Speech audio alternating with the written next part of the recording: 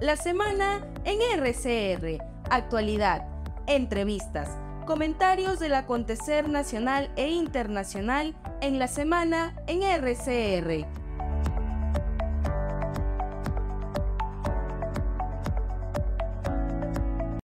Le damos la cordial bienvenida al doctor Herbert Cuba García, médico especialista en salud pública, comentarista en el portal de opinión El Montonero, recién bajadito del avión. ¿Cómo le va, mi estimado doctor? Quiero saludarlo.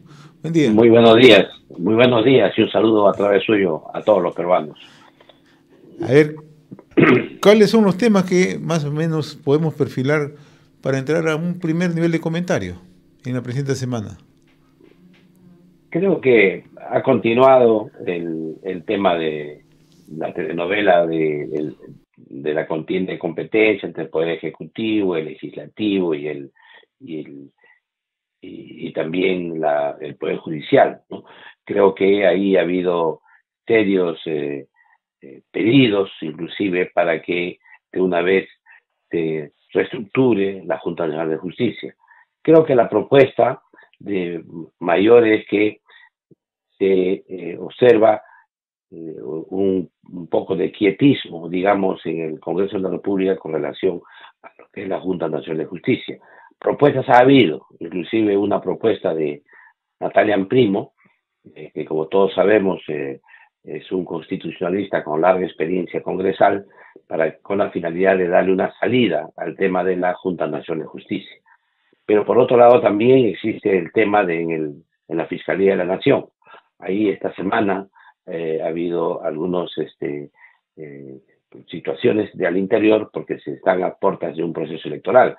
Ahí concretamente eh, dos vocales supremos han, han tenido este, mucha repercusión. Uno es el, el fiscal Pedro, Pablo Sánchez, que ha sido suspendido por 120 días, y el caso de la señora Zoraida Ábalos, que tiene un tema de suspensión congresal pero solamente suspendida por un tema de, una acción de amparo judicial. En consecuencia, estos temas que están en el Perú muy ligados a la política, porque como hemos señalado en alguna otra oportunidad, ya se vive una politización de la justicia, entonces eh, lo que eh, ha llevado a que eh, todo esto se mire al Congreso de la República. El Congreso de la República estaba abocado esta semana también a, a, ir eh, a preparar el tema eh, electoral del año 2026. Y en este caso, el hecho de la reelección de alcaldes y gobernadores regionales en aprobación en primera votación creo que ha sido destacado, ¿no? Debido a que ya se había aprobado la reelección. ¿Es acertada esta decisión que se apruebe la reelección de gobernadores, la reelección de alcaldes, por una vez, única vez? Yo creo que es acertado. Eh, esto fue, como todos sabemos, eh, se hizo con la idea de evitar los cacicazgos a nivel de las regiones. Sin embargo, lo que se ha observado aquí no es, no es un cacicazgo, ha sido en el fondo un asalto al radio nacional. Hemos tenido en este periodo, desde donde estuvo prohibida la reelección, un tema de decir, esta es la mía y se acabó el periodo. En cambio, cuando tú le das un norte un poco más amplio de una posible reelección, permites que se hagan políticas de largo plazo, pues pensarían en darles eh, temas que no tienen rédito inmediato, pero sin embargo sí lo tienes a mediano plazo, y en este caso dos periodos sí es un, un, plazo adecuado. Y el otro tema que ha generado controversia es el tema del, del rol de los movimientos regionales en los procesos electorales. Y aquí creo que también la mirada es que una fragmentación extrema en las regiones, una, eh, diría yo, eh, atomización, o sea, en el sentido de formarse como pequeñas células o pequeños átomos en, en las regiones sobre este tema complicaba mucho la gobernabilidad nacional. Habían agendas muy, muy, muy particulares, agendas muy, muy regionales, que hace que muchas de las veces el Estado unitario se ponga en juego. El Estado unitario hablamos del país en su conjunto, de las políticas públicas nacionales, de enfrentar los temas globales, de enfrentar este, inclusive epidemias o enfermedades en modo global, hace que eh, había que repensar la participación de los gobiernos regionales, de los, de los movimientos regionales y los movimientos locales. En este caso concreto, tenemos el otro tema eh, aquí está en el tema de fortalecer los partidos nacionales, porque los partidos nacionales le aportan una mirada nacional, una mirada eh, una mirada este, global del país que hace que eh, eso mantenga la fortalezca el país unitario. Ya de por sí, un país como el nuestro, con graves fuerzas que tienden hacia hacia la, ruptura o con grandes fuerzas que se llaman centrífugas eh, y pocas fuerzas que llamen a la unidad nacional, eh, es complicado tener ya un proceso de descentralización. Pero si ese proceso de descentralización le agregas un proceso extremo de descentralización con fragmentación política, haces que facilites enormemente la disgregación, inclusive la sobrevivencia del país como nación. Yo creo que ahí viene la, la, la, posibilidad de trabajar modelos que hagan que las fuerzas que tensan, las fuerzas que distienden, las fuerzas que, centrífugas, eh, sean menores que las fuerzas que unen el país. Y esto eh, creo que eh, hay que buscar con... No hay recetas mágicas, este es un hacer y mirar, mirar y hacer. yo creo que aquí hay, debemos tener tanta descentralización como no ponga en juego el Estado unitario, ni tanta centralización que no ponga en juego el proceso de descentralización. Yo creo que eso es, eh, eh, digamos, la receta y parece ser una alternativa interesante, fortalecer los partidos políticos nacionales, darle a la política nacional una visión nacional eh, y de esa manera hacer que el país sea pensado en un tema de una forma este, centralizada, digamos, centralizada, pero ejecutada descentralizadamente. Permíteme abordar otro tema, y tiene que ver ya con la conducción del país, ¿no? La poca aparición de la presidenta Dina Boluarte, o sea, el poco contacto que tiene ya con la población. Eso, ¿cómo lo interpreta usted? Hay varias lecturas, ¿no? Pero la primera de ellas tiene relación con eh, las veces que ha tenido eh, alguna eh, comunicación con la población, ha sido a veces con dificultades, porque no tiene un adecuado sistema de comunicación de riesgos o, social desde es una debilidad, digamos, del gobierno. Pero el segundo aspecto tiene que ver con un cálculo político. Una sobreexposición de la Presidente con niveles bajos de popularidad pueden en cualquier momento eh, generar un hecho indeseado y esto es lo que eh, tiene que evitar el gobierno. Y el tercer aspecto es que algunas políticas públicas que se están ahora eh, trabajando a la interna del gobierno, digamos, requieren a veces algún silencio, alguna prudencia en esa exposición. Y tenemos en ese aspecto a veces la intención de generar una transparencia al 100%, con lo cual matan la política o matan eh, el interés que pueda tener en los sectores populares alguna actividad que eso se tenga. Yo creo que esas tres eh, eh, temas que ah, conversamos nosotros hacen que tengan como resultado un alejamiento de la presidenta ante los medios de comunicación.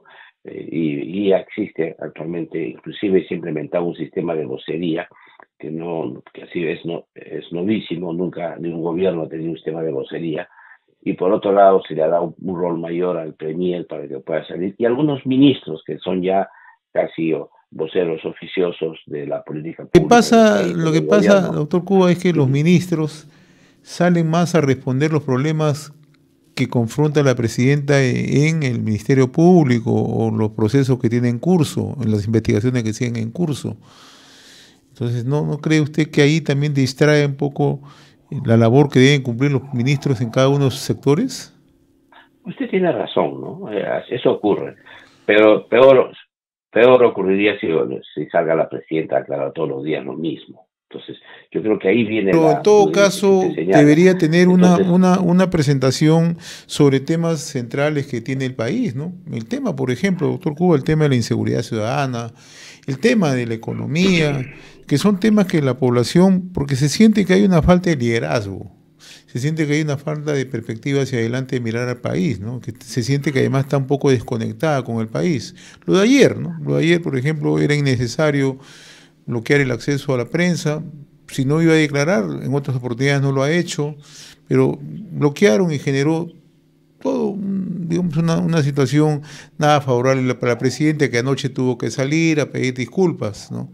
Y esto se ve como una suerte de restricción a la prensa. Entonces yo le digo esto ¿por qué? porque no solo, no todo se concentra en Lima. las ciudades al interior del país también necesitan y, y con sus problemas principales, ¿no? En el norte el tema de la reconstrucción avanza a paso lento, ¿no? El tema de las heladas, tema de friaje que se presentan en, en la zona sur o en la Amazonía, o el otro tema que tiene que ver con el tema de la minería ilegal, etcétera, etcétera, donde se tiene que ver un liderazgo mucho más activo, mucho más, una presencia mucho más directa de la presidenta, ¿no? Yo creo que el, el tema sería eh, bueno, como usted señala, y teníamos la opción de tener una, un presidente o un ministro que salga a explicar lo que usted acaba de señalar. Pero el problema es que hay una agenda también que la prensa quiere conocer todos los días, que hace, es obvio que es lo que lo que vende, es lo que lo que hace rating, lo que hace genera el morbo en la población, lo que genera noticia, y esto tiene que ver con un seguimiento progresivo de todos aquellos temas que se han judicializado por parte de la presidenta, ¿no es cierto? Y en consecuencia, en lugar de preguntar sobre una nueva inauguración, sobre un nuevo evento, lo que ocurre generalmente es que ese espacio que debería haber sido dado para eso, porque se hace el esfuerzo de hacer un hecho político, un, evento de esta naturaleza, para poder explicarle a la ciudadanía las ventajas de un, de un proceso, se transforma en una respuesta de un tema ya que se viene ventilando con detalles en el Poder Judicial. Entonces, yo creo que ese tema que usted acaba de saber precisamente hace que se tenga que tener prudencia para salir de los medios de comunicación, porque de otra manera, el, objetivo político que se tiene con una visita, con una inauguración, con, con algo, se, deja de ser eh, noticia para transformarse en la, la noticia. Que dijo el abogado, que dijo el fiscal, que dijo el juez, cuánto tiempo piensa estar en el gobierno, etcétera, etcétera, cosas que desmerecen exactamente el proceso de gobierno. Y en cada circunstancia política, la relación del gobierno con los medios tiene que ser distinta. No puede haber una monotonía en el trato cuando la situación política es distinta. Yo creo que ahí eh, eh, tiene que existir también dificultades, hay, ¿no? Hay dificultades, pero tiene que existir comprensión por ambas partes de que la situación política en el país ha cambiado a partir de la judicialización de la política, a partir de que hechos ligados a los políticos se transforman en la noticia y los hechos realmente relevantes en el país pierden noticia, dejan de ser noticia. Eso es un manejo fino que no, no lo, lo tendrían que hacer los comunicadores sociales los mismos periodistas que trabajan con el gobierno, que son gente experta, son profesionales, deberían encontrar un justo medio de que sin, sin dejar de responder a los temas judiciales, se tengan que también promover activamente los hechos políticos favorables que hace el gobierno. Yo creo que estos aspectos eh, hay que, son difíciles de hacer, eh, son más fáciles desde el punto de vista conceptual explicarlos, pero son muy difíciles de hacer. Pregunto esto, doctor Cuba, porque hay una respuesta que, que todos los políticos esgrimen cuando no tienen una aceptación presidencial. Nosotros no gobernamos con las encuestas, dice, ¿no? Pero es una obligación para los políticos leer las encuestas. Entonces, ahí hay un contrasentido, ¿no?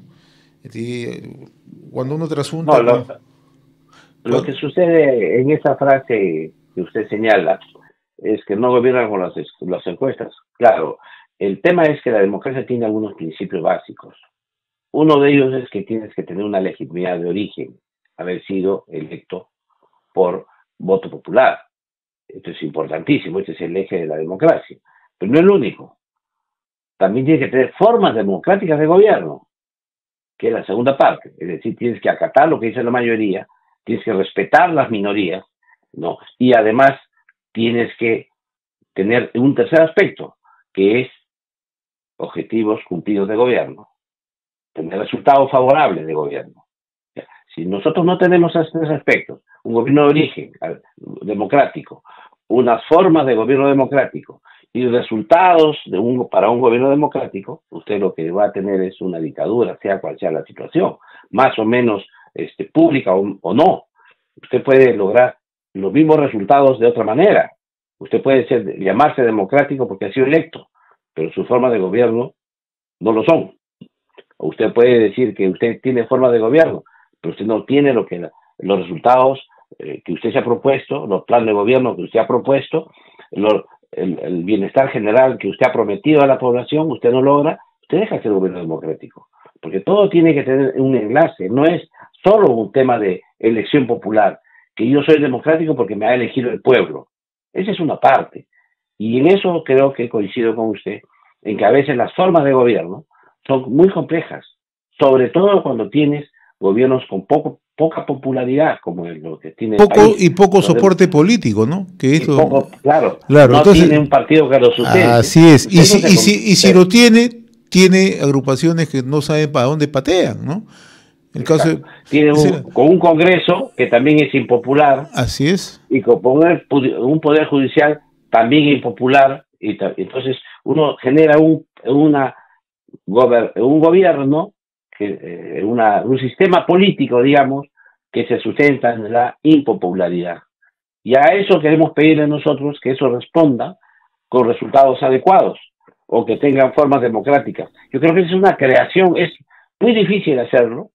Algunos podrían señalar inclusive que lo que aquí habría que hacer es patear el tablero, ¿no? Y cambiar una nueva constitución, nuevas reglas, porque todo es impopular en el Perú. Pero ahí viene precisamente la madurez que tiene que existir en que si esto es un tema coyuntural o tiene una salida estratégica de mediano y largo plazo.